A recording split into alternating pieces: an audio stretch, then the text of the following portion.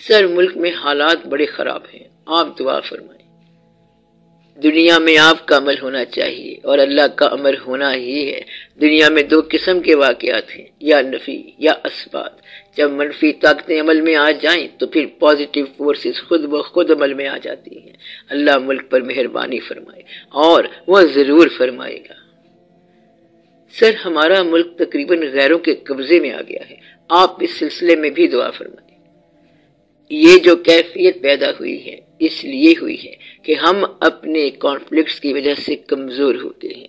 इसलिए लगता है कि हमारा मुल्क दुश्मन के नरगे में आ गया है, या हम में से एक एक करो उनके साथ इंक्लूड हो गया है, या दुश्मन से कोई खुफिया रबता हो गया है। ये सवाल बड़े दिलों में, बड़े लोगों में पैदा हुआ है कि कहीं दुश्मन छा तो नहीं गया। उन्नीस सौ इकहत्तर में भी लोगों के दिलों में सवाल पैदा हुआ था कि ऐसा तो नहीं हो गया। जब अंग्रेज़ ने नया कंट्री बनवाया तो सवाल पैदा हुआ। कहीं अंग्रेज़ ने पाकिस्तान तो नहीं बनाया, क्योंकि हिंदू और मुस्लिम पहले दोनों को लड़ाया और फिर मुल्क अलग कराया।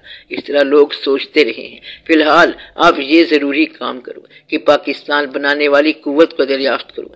ये देखो कि किसने मुल्क बनाया। अगर किसी चांस ने मुल्क बनाया है तो चांस से नुकसान भी हो सकता है।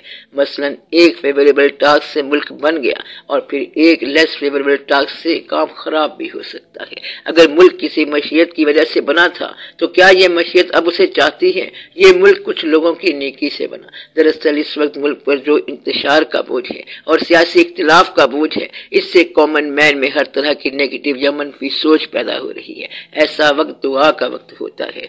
वतन की जान पर बंसी गई है। बड़ी दौलत थी हाथों से लुटी है। दरअसल मुल्क के बारे में जितना अंदेशा है, उतना खतरा नहीं है। अब आप देखो कि ऐसा क्यों है। इसकी रीजन ये है कि किसी मुल्क में किसी की भी हुकूमत हो। उस हुकूमत को एक चीज़ सबसे ज़्यादा प्यारी होती है, और वो है हुकूमत का कायम रहना। अगर हुकूमत अपने मुल्क को किसी और के हवाले कर देगी तो खुद कायम नहीं रहेगी। लिहाजा मुल्क को किसी और के हवाले नहीं होने दिया जाएगा। तो ये हर हुकूमत की बड़ी ज़िम्मेदारी और ख्वाहिश होती है। इस मामले में हुकूमत कभी इनसिंसियर यानी गैर मुखलिस नहीं होती, बल्कि अक्सर इनफिशेंट होती है ना अहल होती है। हुकूमत कभी मुल्क को दुश्मन के हवाले नहीं करेगी। यह हुकूमत की अपनी ख्वाहिश होती है कि मुल्क में उनकी हुकूमत कायम रहे।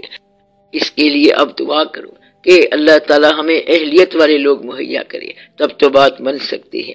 वो जो एक दौर उन्नीस सौ पैंसठ में आया था अब तक वो दौर वापस नहीं आया। अल्लाह की मेहरबानी अब भी हो सकती है। जरा सा अच्छा दौर आ जाए तो फिर लोग बेदार हो सकते हैं। फिर आप लोग नारा हैदरी बुलंद कर देंगे। अब भी वक्त आ जाए तो आप लोग सोए नहीं रहेंगे। वो एक वक्त है जो आने वाला है, लेकिन अभी वो वक्त नहीं आ रहा है। जिस तरह मौसम बदलने का एक वक्त होता है, उसी तरह वक्त बदलने का भी एक मौसम होता है। मौसम अपने वक्त से बदलते हैं और वक्त भी अपने मौसमों से बदलता है। अभी यह वक्त मुसलमानों के अंदर आया नहीं है कि खुफिया रूह बेदार हो जाए। जब वक्त आ जाएगा तो आप लोग बेदार हो जाओगे और आप लोगों की ताकत वापस आ जाएगी और मुल्क आबाद हो जाएगा। ये मुल्क आबाद रहने के लिए बना है और ये मुल्क आबाद रहेगा। इन ताला। ताला। आप लोग कत्तन मायूस ना हो और मायूसी की कोई बात नहीं है। आप लोगों के पास बेहतरीन किस्म के फकीर, दरवेश, बुज़ुर्ग, साहबान, तदबीर और बड़े बड़े लोग मौजूद हैं और मौजूद रहेंगे और इस मुल्क को ज़ाया नहीं होने दिया जाएगा।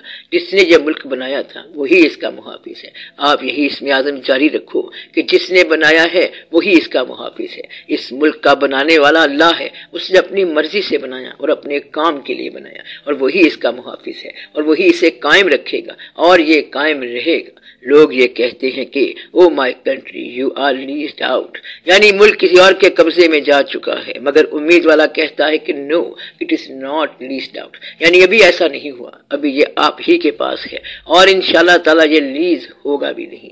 आप इतमान रखो, और आप सुकून करो और दुआ करो कि आपको वतन की खिदमत का कोई मौका मिल जाए। इस मुल्क की खिदमत दरअसल इस्लाम की खिदमत है। अब आप ये बात याद रखना कि आपके वतन की खिदमत इस्लाम की खिदमत है, और आप लोगों के लिए ज़रूरी है कि आप लोग, वतन और इस्लाम दोनों के साथ सिंसियर हो जाओ। इन ताला, जल्द ही आप लोगों के लिए अच्छे अच्छे वाकयात शुरू हो जाएँगे।